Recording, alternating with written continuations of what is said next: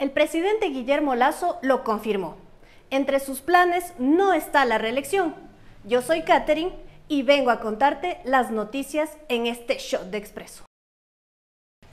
El mandatario habló con el medio estadounidense The Washington Post y afirmó que no tiene planes de postularse en las elecciones que se realizarán en agosto próximo y tampoco le importa quién lo reemplace.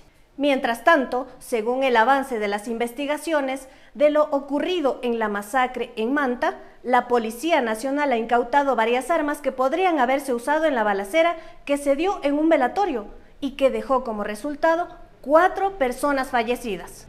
Por otra parte, el domicilio del ex gerente de la refinería del Pacífico, Pedro Merizalde, fue allanado esta mañana. Al exfuncionario del correísmo se lo investiga por presunto lavado de activos en torno a la suscripción de un contrato en Odebrecht. Mientras que en deportes hay buenas noticias. El ciclista ecuatoriano Alexander Cepeda queda tercero en la etapa 13 del Giro de Italia y tuvo su mejor ubicación en lo que va de la Corsa Rosa. Para más detalles de estas y otras noticias, visita expreso.es.